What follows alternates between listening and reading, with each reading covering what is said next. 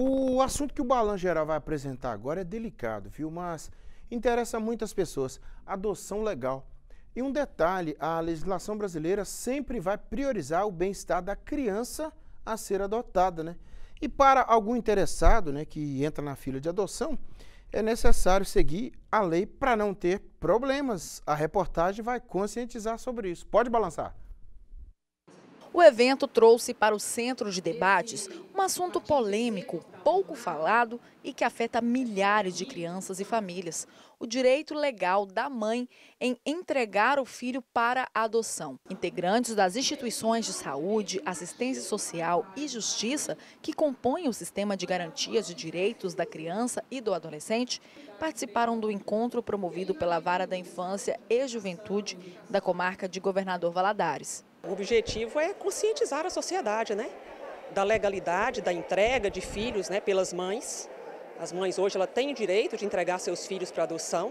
Né? E essas crianças passam, a partir de então, a serem inseridas em uma família substituta, na, na, fila de adoção. Antes era tratado como abandono de incapaz, né? É, o crime tipificado no artigo 134 do Código Penal, hoje já não se fala mais em crime.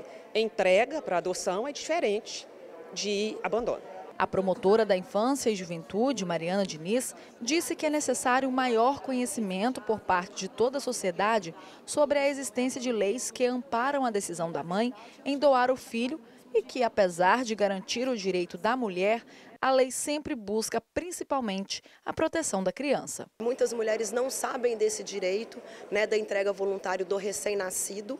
Né? E a gente precisa fazer com que essas mulheres conheçam os seus direitos para que possam acessá-los.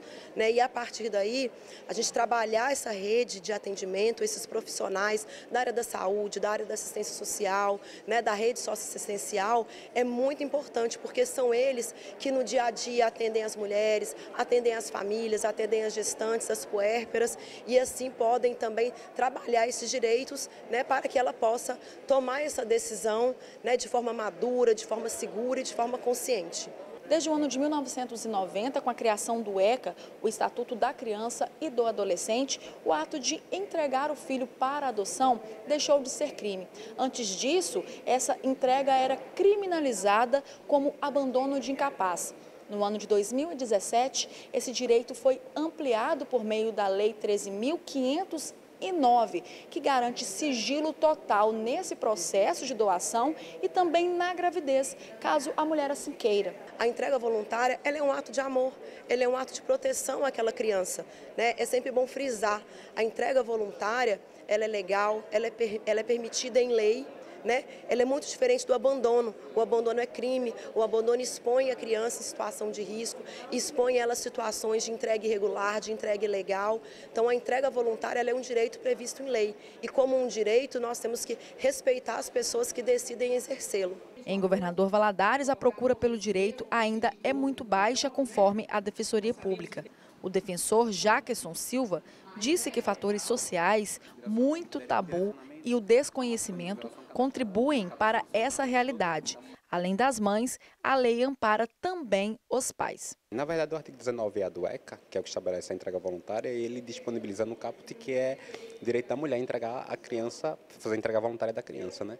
Só que o próprio artigo, no parágrafo 5 ele fala que, havendo um pai registral, esse pai registral também ele, ele vai ser considerado essa vontade. Existem casos, por exemplo, de que a mãe é, falar isso no, no parto, mas existe um pai reconhecido, então ele pode fazer essa entrega.